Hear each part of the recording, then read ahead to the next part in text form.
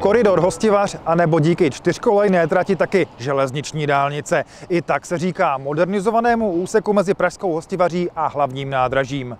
Trať tu z části vede v nové stopě a vznikla i úplně nová stanice, cíl dalšího dílu zpráv železnic.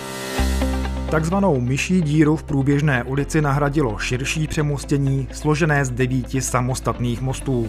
Na nich leží nové nádraží Praha zahradní město se třemi nástupišti. Dvěma ostrovními a jedním vnějším o délce 350 eh, metrů umožňuje zastavení i dálkové dopravy. K tomu byla přidána dole zřízená tramvajová zastávka i autobusová zastávka. Nástupiště mají zastřešení a informační a orientační systém. Další zázemí je ve spodní části terminálu.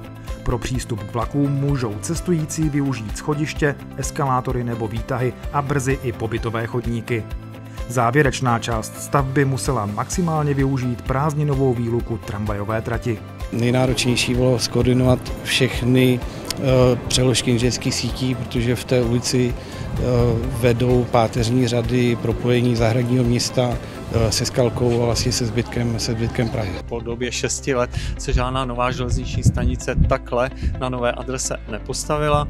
Eh, výstavba trvala tři roky a já mám nesmírnou radost, že toto obrovské zkapacitění příměstské dopravy se povedlo. Já předpokládám, že až se to více zavede, že se úplně opustí uvažování o tom, jak se dostat do centra a že to železnice zde jasně vyhraje. Cesta ze zahradního města na hlavní nádraží totiž vlakem zabere 12 a v cílovém stavu pouze 10 minut. A když už byla řeč o hlavním nádraží, tak i tady začalo veřejnosti po 16 měsících stavby sloužit další vylepšení.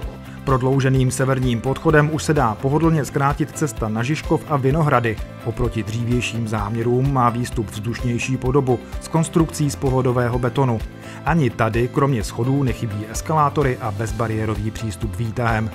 Díky novému spojení ztratilo smysl riskantní přebíhání kolejí. Zde jsme pomohli i jiným druhým doprav, mám tím na mysli metro, čili věřím, že to každý ocení.